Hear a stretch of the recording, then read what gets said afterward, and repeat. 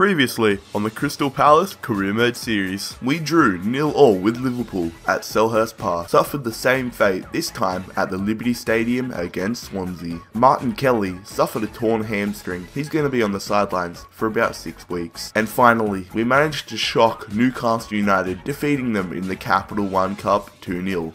Episode number 8 of Season 1, here we go.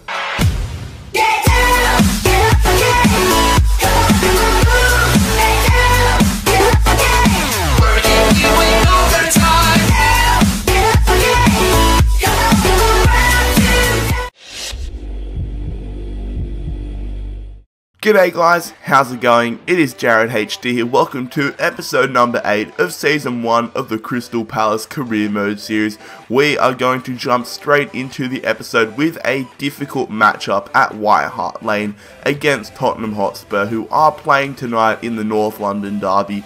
It's probably already happened when you are watching the video but right now uh, I'm eagerly awaiting the matchup. But Spurs, they're playing a relatively weak side. Uh, Nova Tongan, they're, they're playing Harry Kane up front instead of someone like Soldado or Adebayor. Uh, so I am confident that we will be able to get a result out of this game. We seem to be giant killers. Uh, one of you guys did mention that we always seem to lift against the great teams. We we drew nil all with uh, Man United. We drew nil all with Liverpool. We beat Arsenal. We beat Liverpool, but we can't beat the middle table sides, which is really annoying. Like we can't beat Stoke. Um, sorry, not Stoke. We can't beat Sunderland. We can't beat uh, Hull, we can't beat Swansea, just teams like that. We can't beat Leicester, we can't beat Burnley, but we can somehow beat these great teams. And that philosophy continues as we go up 1 0 and we get awarded a penalty 11 minutes into the game. Uh, Jedinak was clipped by uh, Paulinho, I believe it is, uh, when he was taking the shot. And I was very surprised at this start to the game. It was a great start to the game, but I can't complain at all as Mile Jedinak right now steps up against Michel Vorm and we scored the goal 2-0 ahead against Tottenham Hotspur. What is going on? It's on the road as well. It's not like the home crowd is lifting us. We're playing at freaking White Hart Lane. So you tell me what's happening. I'm pretty excited though. Uh, 32 minutes into the game though, uh, Townsend right now puts it just to the left hand side of the net. Probably should have scored that, but uh, it just might not be Tottenham's lucky day. As we move on, 56 minutes into the game, Cabelos, I believe that is pronounced, is on the ball here passing it to Paulinho. Paulinho off to Harry Kane, and Harry Kane is able to get one goal back here for Tottenham. Uh, 57 minutes into the game, so hopefully we are able to hold on until the full-time whistle. Harry Kane, excuse me, a uh, genuine prospect for Spurs. Uh, but 67 minutes into the game, Williams passed it to Embolo. Back to Williams, but a good save there from Michel Vorm, getting his body in front of the ball. But it does not matter for Spurs as we go on to defeat Tottenham Hotspur 2-1. What a very strong victory from the lads. Moving on into the second game of the episode, we are playing Stoke City at Selhurst Park. Uh, they are doing very well in the league at this stage of the career mode series. I'm pretty sure they are sitting in first position, which is absolutely crazy. You would not expect uh, freaking Stoke City to be sitting in first position 15 games into the season. Uh, it's just crazy. Uh, but moving on, this is the lineup we are going to be playing. A very strong one. Playing Wilfred Zaha out left where he belongs. Uh, and playing Embolo up top because he has been very strong as of lately. And Stoke City, they're playing a very strong side as well. Of course, they have one of our targets from the off-season, uh, James Tomkins from West Ham, who did decide to go to Stoke City instead of us. So really want to show him why he should have come to Crystal Palace. Uh, but so far it's looked like it's pretty good for him considering Stoke are first place. Uh, but we almost get off to a terrible start there, almost conceding a goal 11 minutes into the game, but luckily Stoke put it wide. Uh, nothing else really happened in that first half, but then in the second half, Williams with the header. Williams gets it past Asmir Begovic, and the short little centre attacking midfielder gives us a 1 0 advantage by using his head. It was all about the great positioning and the great run there from Williams. It was a very, very nice goal. But moving on, 71 minutes into the game, Ireland through to Arnautovic, and a good diving save there from Speroni is cleared away.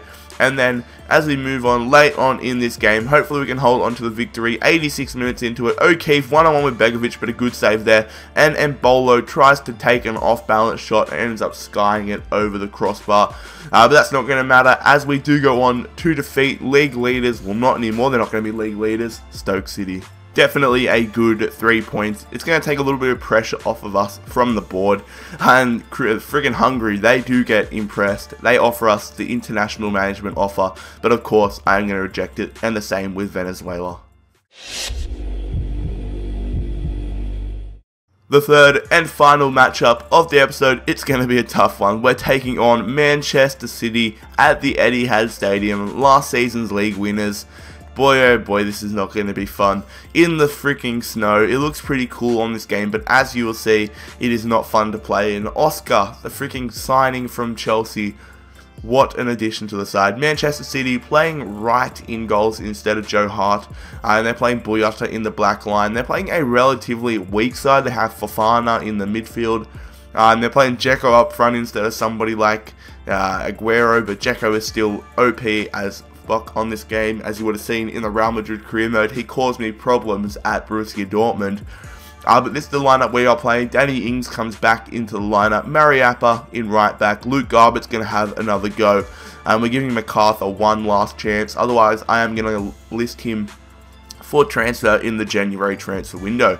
But as we move on here, look how hard it is to see the ball with the yellow kits and the white uh, ground, but they do manage to hit the crossbar there, Manchester City, but luckily for us, no result.